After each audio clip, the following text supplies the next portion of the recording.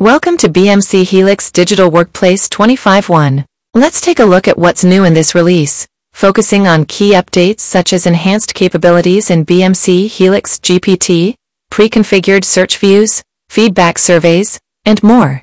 First up, we have enhanced BMC Helix GPT capabilities that are now available within BMC Helix Digital Workplace. These capabilities are available with the BMC Helix Service Management Advanced license. Let's take a closer look.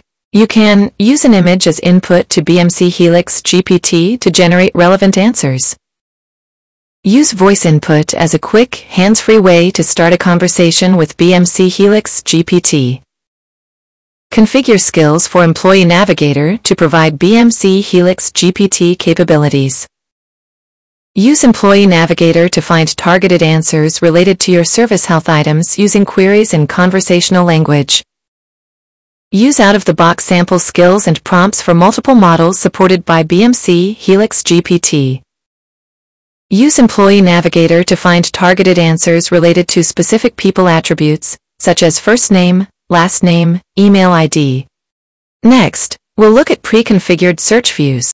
Administrators can create pre-configured search views in BMC Helix Digital Workplace Studio, so that end users instantly see relevant results without having to manually enter common search strings. End users can view the search results from BMC Helix GPT, or keyword search, or both.